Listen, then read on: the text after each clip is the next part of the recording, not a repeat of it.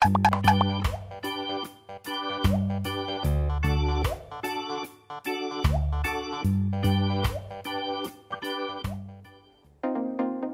தடுப்பூசியை பற்றி தெரிந்து கொள்ள வேண்டிய விஷயங்கள்.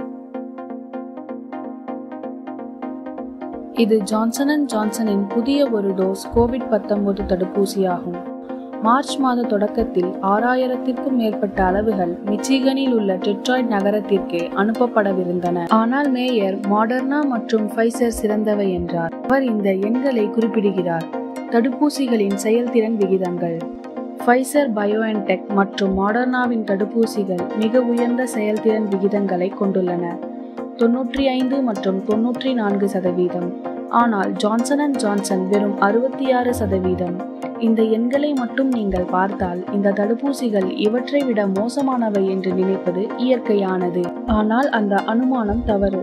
இந்த எண்கள் எவ்வளவு பயனுள்ளவை என்பதற்கான மிக முக்கியமான நடவடிக்கை கூட இந்த எண்கள் அல்ல. என்ன என்பதை புரிந்து கொள்ள தடுப்பூசிகள் கூட என்ன செய்ய வேண்டும் என்பதை நீங்கள் முதலில் புரிந்து கொள்ள வேண்டும். தடுப்பூசி பல்லாயிரக்கணக்கான மக்களுக்கு பரிசோதிக்கப்படும் போது ஒரு தடுப்பூசியின் செயல்திறன் விகிதம் பெரிய மருத்துவ பரிசோதனைகளில் கணக்கிடப்படுகிறது. அந்த நபர்கள் இரண்டு குழுக்களாக பிரிக்கப்பட்டுள்ளனர். பாதி பேர் தடுப்பூசி பெறுகிறார்கள் பாதி பேர் போலி மருந்து பெறுகிறார்கள். பின்னர் அவர்கள் தங்கள் வாழ்க்கையை வாழ அனுப்பப்படுகிறார்கள். அதே நேரத்தில் விஞ்ஞானிகள் கோவிட் பத்தொன்பதை பல மாதங்களில் பெறுகிறார்களா இல்லையா என்பதை கண்காணிக்கிறார்கள். ஃபைசர் பயோஎன்டெக்கிற்கான சோதனையில் எடுத்துக்காட்டாக நாற்பத்தி மூணாயிரம் பங்கேற்பாளர்கள் இருந்தனர். இறுதியில் நூத்தி எழுபது பேர் கோவிட் பத்தொன்பது நோயால் பாதிக்கப்பட்டனர். இந்த ஒவ்வொரு குழுவிலும் அந்த நபர்கள் எவ்வாறு வருகிறார்கள் என்பது ஒரு தடுப்பூசியின் செயல்திறனை தீர்மானிக்கிறது. நூத்தி எழுபது பேர் சமமாக பிரிக்கப்பட்டிருந்தால் தடுப்பூசி இல்லாமல் நீங்கள் நோய்வாய்ப்பட வாய்ப்புள்ளது. எனவே இது பூஜ்ஜியம் சதவீதம் செயல்திறனை கொண்டிருக்கும்.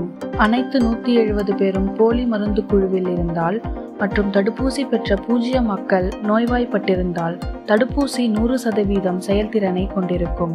இந்த குறிப்பிட்ட சோதனையின் மூலம் போலி மருந்து குழுவில் நூத்தி அறுபத்தி இரண்டு பேரும் தடுப்பூசி குழுவில் வெறும் எட்டு பேரும் இருந்தனர். அதாவது தடுப்பூசி போடப்பட்டவர்களுக்கு கோவிட் பத்தொன்பது வருவதற்கான வாய்ப்பு தொன்னூற்றி ஐந்து சதவீதம் குறைவாக இருந்தது. தடுப்பூசி தொன்னூற்றி ஐந்து சதவீதம் செயல்திறனை கொண்டிருந்தது. இப்போது நூறு பேருக்கு தடுப்பூசி போடப்பட்டால் அவர்களில் ஐந்து பேர் நோய்வாய்ப்படுவார்கள் என்று அர்த்தமல்ல. அதற்கு பதிலாக அந்த தொன்னூற்றி ஐந்து சதவீதம் எண் தனிநபருக்கு பொருந்தும். ஒவ்வொரு முறையும் அவர்கள் கோவிட் பத்தொன்பதிற்கு வெளிப்படுவார்கள். ஒவ்வொரு தடுப்பூசியின் செயல்திறன் வீதமும் அதே வழியில் கணக்கிடப்படுகிறது. தொற்றுநோய் தொடங்கியதிலிருந்து அமெரிக்காவில் தினசரி கோவிட் பத்தொன்பது வழக்குகளின் எண்ணிக்கை இதுவாகும். மாடர்னா சோதனை அமெரிக்காவில் இங்கே கோடையில் முழுமையாக செய்யப்பட்டது. ஃபைசர் பயோஎன்டெக் சோதனை முதன்மையாக அமெரிக்காவிலும் அதே நேரத்தில் அமைந்தது. எவ்வாறாயினும் பங்கேற்பாளர்களுக்கு தொற்று நோய்களுக்கு ஆளாக அதிக வாய்ப்புகள் இருந்தபோது ஜான்சன் அண்ட் ஜான்சன் இந்த நேரத்தில் தங்கள் அமெரிக்க விசாரணையை நடத்தினர். அவர்களின் பெரும்பாலான விசாரணைகள் பிற நாடுகளில் முதன்மையாக தென்னாப்பிரிக்கா மற்றும் பிரேசிலில் நடந்தன. இந்த மற்ற நாடுகளில் வழக்கு விகிதங்கள் அதிகமாக இருந்தன ஆனால் வைரஸ் வேறுபட்டது. கோவிட் பத்தொன்பதின் மாறுபாடுகள் வெளிவந்ததால் சோதனைகள் நடந்தன. மேலும் இந்த நாடுகளில் ஆதிக்கம் செலுத்தியது. பங்கேற்பாளர்களை நோய்வாய்ப்படுத்தக்கூடிய வகைகள். தென்னாப்பிரிக்காவில் ஜான்சன் அண்ட் ஜான்சன் விசாரணையில் பெரும்பாலான வழக்குகள் மாறுபாடாக இருந்தன. கோடையில் அமெரிக்காவில் இருந்த அசல் திரிப்பு அல்ல. அதையும் மீறி இது இன்னும் கணிசமாக தொற்று நோய்களை குறைத்தது. இந்த செயல்திறன் எண்கள் உண்மையில் ஒவ்வொரு தடுப்பூசியின் சோதனையிலும் என்ன நடந்தது என்பதை உங்களுக்கு கூறுகின்றன. உண்மையாக உலகில் என்ன நடக்கும் என்று அல்ல. ஆனால் பல வல்லுநர்கள் இது ஒரு தடுப்பூசியை எப்படியும் தீர்ப்பதற்கான சிறந்த எண் கூட இல்லை என்று வாதிடுகின்றனர். ஏனென்றால் எந்த ஒரு தொற்று நோயையும் தடுப்பது எப்போதும் தடுப்பூசியின் புள்ளி அல்ல. இது போன்ற கோவிட் பத்தொன்பதிற்கு வெளிப்படுவதன் வெவ்வேறு விளைவுகளை பார்க்க இது உதவுகிறது. மிகச்சிறந்த சூழ்நிலை என்னவென்றால் நீங்கள் நோய்வாய்ப்படவில்லை. மிக மோசமான வழக்கு மரணம். இடையில் மருத்துவமனையில் சேர்க்கப்படுவது கடுமையான மற்றும் மிதமான அறிகுறிகள் அல்லது அறிகுறிகள் எதுவும் இல்லை.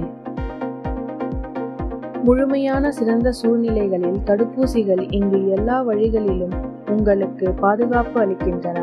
ஆனால் தத்ரூபமாக இது கோவிட் பத்தொன்பது தடுப்பூசிகளின் முக்கிய நோக்கம் அல்ல இந்த நோக்கங்களை மறைக்க உங்கள் உடலுக்கு போதுமான பாதுகாப்பு அளிப்பதே உண்மையான நோக்கம்.